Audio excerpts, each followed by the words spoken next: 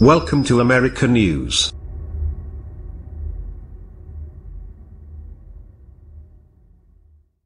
Brussels, Germany needs to make a sustained investment in defense and stop leaving the dirty work to others, according to a new study.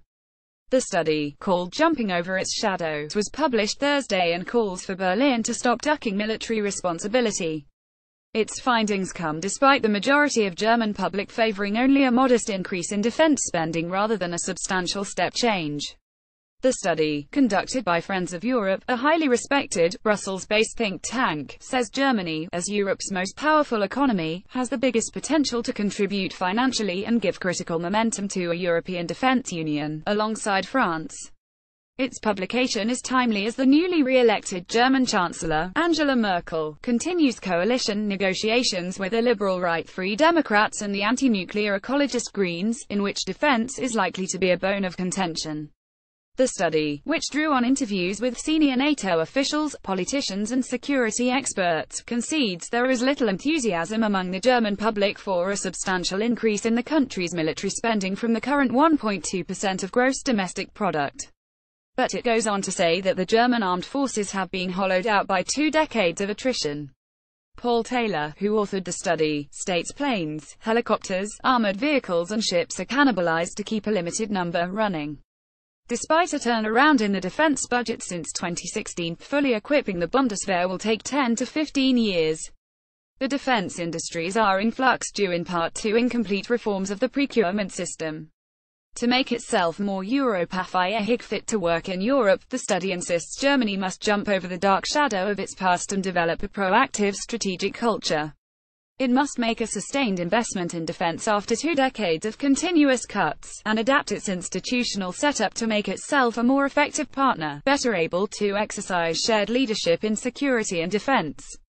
The study says that for historical reasons, Germany has pursued a policy of diplomatic and military restraint but has also begun to take greater responsibility for international security as its strategic environment has deteriorated.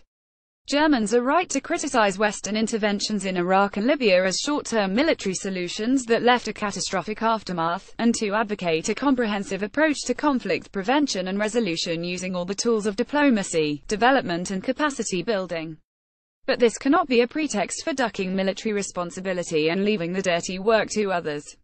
Insane budget allocation The next German government has three choices of where to put its resources mostly with NATO, though this would be at the risk of preparing to fight the last war mostly in a European Union defense initiative, which carries the risk of underdelivering and having to accept fiscal transfers for defense or a combination of both publication coincides with the separate Friends of Europe survey of German and international policymakers that found that Islamic terrorism at home and in the Middle East as well as cyber attacks were perceived as the main threats to Germany, ahead of Russia challenges related to climate change and migration, although Eastern Europe and the Baltic Sea were seen as Germany's areas of greatest strategic interest.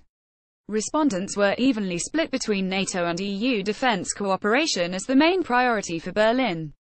The survey said a clear majority favored only a modest increase in defense spending rather than a substantial step change. Angela Merkel has repeatedly reaffirmed her commitment to raise Germany's defense spending toward 2% of GDP by 2024, as NATO countries agreed in Wales. At a 2014 summit, given that it would be nearly double the 1.2% of GDP, or $45 billion a year that Germany currently spends. Many in the country have questioned the wisdom of investing 2% of its annual economic output on defense. German Foreign Minister Sigmar Gabriel recently said this would be insane.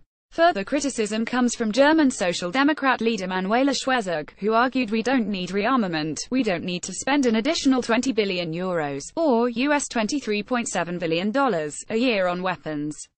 We want to spend that money instead on education and better equipment at our schools.